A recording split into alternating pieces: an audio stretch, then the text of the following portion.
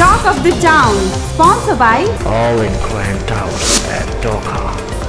Live where you belong.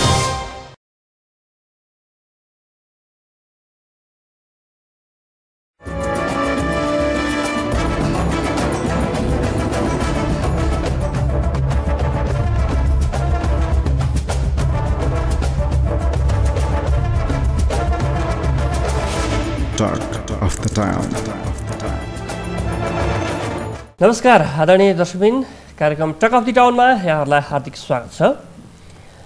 यो सहरको विषय सहरसँग सम्बन्धित कुराकानी सहरका विभिन्न पक्ष जहाँ तपाईँसँग प्रत्यक्ष सरकार राख्ने विषयहरू हुनेछन् ती विषयसँग सम्बन्धित व्यक्तित्वहरूको उपस्थिति र उहाँहरूको विज्ञता हामी यो कार्यक्रममा प्रस्तुत गर्ने गर्दछौँ। यस क्रममा आज हामी समाजको महत्त्वपूर्ण पक्ष मानिएका तिनवटा विषय यो कार्यक्रममा चर्चा गर्नेछौँ। र त्यसमा आज नेपाल सरकारको नीति निर्माण तहमा संलग्न हुनुहुने सचिवलाई यो कार्यक्रममा हामीले आमन्त्रण गरेका छौँ। त्यसका लागि आज हाम्रो कार्यक्रमका अतिथि हुनुहुन्छ महिला बालबालिका तथा समाज कल्याण मन्त्रालयका सचिव आनन्दराज पोखरेल। उहाँलाई कार्यक्रममा स्वागत गरौँ पोखरेलजी कार्यक्रममा स्वागत छ। धन्यवाद। अहिले नेपालको सन्दर्भमा हाम्रो अवस्था कहाँनिर हो? महिला बालबालिका र समाज कल्याणको विषयमा अलिकति पछि म चर्चा गरौँला महिला र बालबालिकाको सन्दर्भमा। नेपाल सरकारले यो डिस्क्रिमिनेटरी लहरूलाई चाहिँ संशोधन गरेर जुन विभेद छ महिला र पुरुषको बिचमा विभेद त्यसलाई हटाउन चाहिँ प्रयास भएछ र अहिलेसम्म पैँसठीवटा कानुनहरूलाई जेन्डर फ्रेन्डली हामीले बनाएका छौँ। र त्यस्तै त्यो अन्य कानुनहरूलाई पनि संशोधनको क्रममा छ। र जेनरल मिनिस्ट्रिमिङ अन्तर्गत महिलाहरूलाई राज्यका प्रत्येक अङ्गमा उनीहरूको सहभागिता वृद्धि गर्दै जाने। त्यस्तै राजनीतिक क्षेत्रमा महिलाहरूको सहभागिता तेत्तिस प्रतिशत पुर्याउने र उनीहरूको यो र इन्क्लुसिभ भन्नाले कर्णालीदेखि लिएर कर्णाली क्षेत्रका पिछडिएका क्षेत्रका र तराईका विभिन्न जनजाति आदिवासी महिलाहरूलाई पनि के भन्दाखेरि राज्यको प्रत्येक निकायमा उनीहरूको सहभागिता गर्ने उनीहरूको आर्थिक सामाजिक अवस्था उकास्ने उनीहरूलाई इम्पावरमेन्ट गर्ने उनीहरूलाई सशक्तिकरण गर्दै लाने एउटा पोलिसी छ भनेदेखि हरेक सेक्टरमा चाहिँ जेन्डर इक्वालिटीका कुराहरू हुनु पऱ्यो र उनीहरूलाई चाहिँ विभेदकारी जुन अहिलेको अवस्था छ त्यसको अन्त गर्नलाई चाहिँ महिला बालबालिका मन्त्रालयले कानुनी कुराहरू संस्थागत व्यवस्था र अनि अन्य इम्पावरमेन्टका प्रोग्रामहरू गरेका छौँ। र यसको लागि हामीले एउटा जियो प्रोजेक्ट पनि सञ्चालन गरेका छौँ। जियो प्रोजेक्ट भन्नाले इम्पावरमेन्ट वुमेनहरूको महिलाहरूलाई आर्थिक सामाजिक कानुनी रूपमा चाहिँ इम्पावरमेन्ट गर्ने चाहिँ अहिले पन्ध्रवटा जिल्लामा हामीले चाहिँ सञ्चालन गरिरहेका छौँ। कस्ता खालका कार्यक्रमहरू तपाईँहरूले त्यसलाई त्यसमा समावेश गर्नु महिलाहरूको लागि पुरुषहरूको अधिकार छ भनेर जुन संवैधानिक प्रावधानहरूदेखि लिएर नेपालमा म- महिलाहरूका हकितका कुराहरूदेखि लिएर सबैको त्यो एडभोकेसी चाहिँ विभिन्न नागरिक समाजका मान्छेहरू एनजिओहरूले चाहिँ गर्दै आएका छन् र अर्को लिडरसिप डेभलपमेन्टका ट्रेनिङहरू हामीले दिन्छौँ। त्यसको परिणामस्वरूप अहिले के भएको छ भने कि व्यवस्थापन समिति स्कुल व्यवस्थापन समितिहरू महिलाहरू आएका छन् ओहदा समिति आएका छन् वनमा त धेरै यसो महिलाहरूको चाहिँ सहभागिता छ तल्लो स्तरमा चाहिँ यो सहभागिता चाहिँ बढाएको छ। अहिले त सामुदायिक वनको राष्ट्रिय अध्यक्ष नै महिला महिला छन्। र त्यस्तै गभर्मेन्टले के गरिरहेको छ भनेदेखि जिल्ला स्तर गाउँ स्तरका आयोजना तर्जुमा गर्दाखेरि त्यो आयोजना जेन्डर फ्रेन्डली होस् महिलाको इम्पावरमेन्ट गर्ने खालका उनीहरूको आय आर्जन बढाउने खालको भनेर तेत्तिस पर्सेन्ट महिलाहरूको सहभागिता गरेर उनीहरूको सहभागिता बिना योजनाहरू चाहिँ महिला सम्बन्धी योजना तर्जुमा गर्न नपाउने व्यवस्था गरेका छ। र त्यसमा आयोजना तर्जुमा कार्यान्वयन मूल्याङ्कनमा महिलालाई सहभागिता गराएको छ। सबभन्दा ठुलो उपलब्धि के भएको छ भनेदेखि अहिले साढे बाह्र सय चाहिँ वटा महिलाहरूबाट चाहिँ सहकारी संस्थाहरू सञ्चालित छन्। र यी साढे बाह्र सय सहकारी संस्थाबाट एक अरब रुपियाँ सङ्कलित भएको छ। यो खालको कार्यक्रममा यो खालको महिलाको सहभागितामा हाम्रो महिला मन्त्रालय बालबालिका जुन मन्त्रालय छ यसको कस्तो खालको सपोर्ट रहन्छ यस्तो खालका हामीले सहकारी अलिकति सुरुमा चाहिँ एक लाख रुपियाँ डेढ लाख दुई लाख उहाँलाई पुँजी दिन्छौँ। सिलमणीका रूपमा। दिन्छौँ। र उनीहरूले बचत गरे पैसा। पाँच रुपियाँ दस रुपियाँ पचास रुपियाँ सय रुपियाँ पाँच सय रुपियाँ बचत गरेर अनि त्यसमा उनीहरूले त्यो कलेक्सन मनी हो त्यो। महिलाहरूको डिपोजिट अनि त्योबाट के भन्दाखेरि आय आर्जनका कार्यक्रमहरू। महिलाहरूको आय बढाउने कार्यक्रम कसैले अब खसी बख्रामा खसेका छन् कसैले गाईबस्तु किनेर गरेका छन् कसैले विभिन्न व्यवसायहरूमा चाहिँ उनीहरूले लगानी सहकारीले गरेका छ। र अर्को कुरो के छ भन्दाखेरि यो सहकारी संस्था चाहिँ एउटा महिलाको आवाजलाई बुलन्द गर्ने एउटा सङ्गठित हुने चाहिँ संस्था पनि भएको छ। र अन्य राष्ट्रिय मुद्दाहरूमा महिलाहरूलाई एकजुट गर्ने चाहिँ थलोको रूपमा चाहिँ एउटा भेहिकलको रूपमा चाहिँ यो चाहिँ अहिले परिणत भएको छ यो सहकारी महिला सहकारीहरू।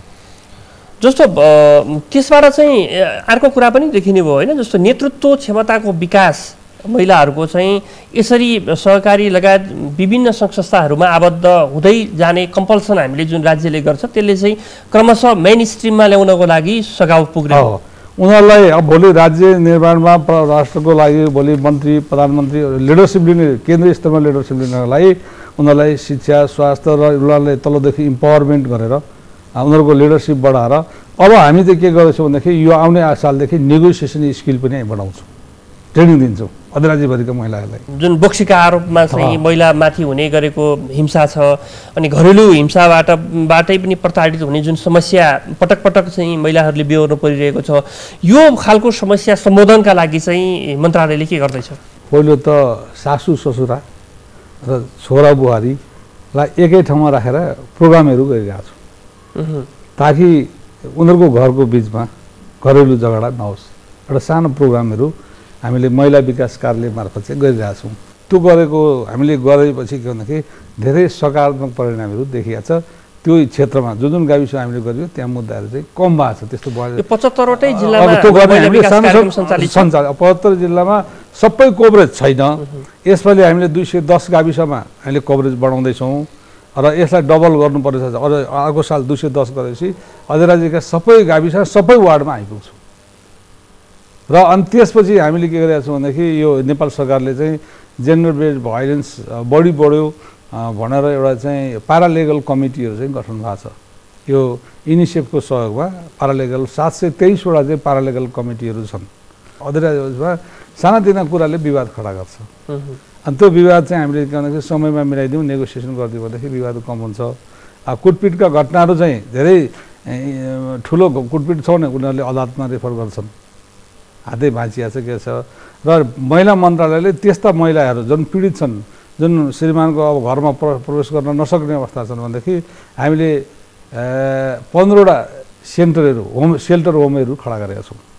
र चौरासीवटा सब सेन्टरहरू हामीले खडा गरेका छौँ। सरकारी र गैर गैर सरकारी क्षेत्रबाट जति लगानी यो क्षेत्रमा गरिएको छ त्यो अनुसार परिणाम प्राप्त भएको भन्नेमा तपाईँ सन्तुष्ट हुनुहुन्छ? या हामीले जति गरेका छौँ त्यो अनुसारको परिणाम चाहिँ प्राप्त हुन सकेका छैन भन्ने? यस्तो छ कुरो। हाम्रो जस्तो के भन्दाखेरि कुर्ती व्यथिति कुर्ती भएको समाज जहाँ के भन्दाखेरि श्रीमानको खुट्टाको पानी खानुपर्ने सासु ससुरालाई तेल लाउनु पर्ने विभिन्न किसिमका कुसंस्कार हार्मफुल प्र्याक्टिसहरू हामीका छन्। अब त्यसलाई हामीले के भन्दाखेरि यो दस बिस वर्षको प्रयासमा टोटल्ली धेरै चेन्ज भइसकेको छ परि परिवर्तन धेरै आइसकेको छ अहिले। यो यो लगानी भनेको चाहिँ भोलिको समाज नेपाली समाजलाई राम्रो समाज बनाउनलाई यो लगानी हो।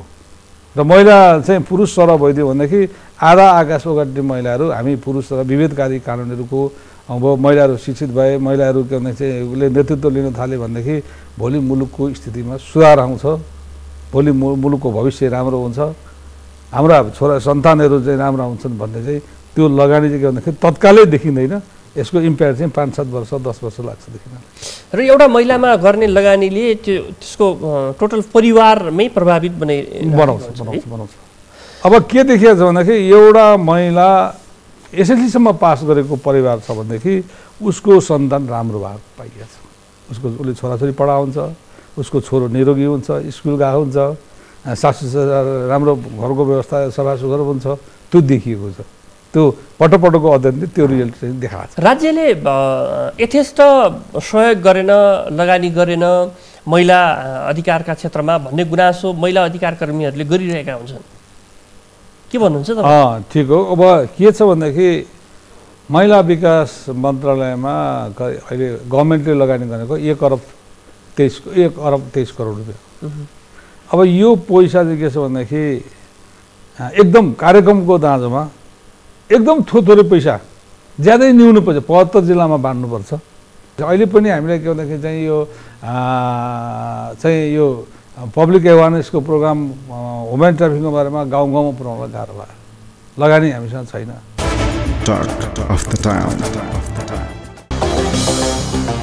Talk of the Town, sponsored by All in Grand Town at Doha. Live where you belong.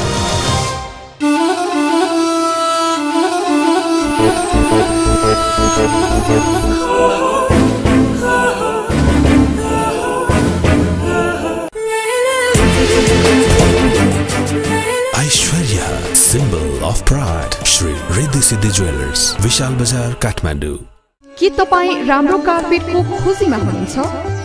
Dashain तथा तिहारको शुभ उपलक्ष्यमा विभिन्न डिजाइनका आकर्षक नेपाली हाते कार्पेटहरू विशेष छुटका साथ बिक्री भइरहेको छ। मौकाको फाइदा उठाउनुहोस्। अजिमा रग इन्डस्ट्रिज प्राइभेट लिमिटेड बौद्ध टुसाल हयात होटलको ठिक अगाडि। फोन नम्बर चार चार छ एक चार पाँच तिन। मोबाइल अन्ठानब्बे एकचालिस छ शून्य शून्य एक शून्य सात। अन्ठानब्बे पाँच सय दस पाँच नौ छ तिन पाँच The tallest tower in the country. World class infrastructure facilities with health club, gym club, swimming pool, high vision theater. All in Grand Towers at Doha. Live where you belong.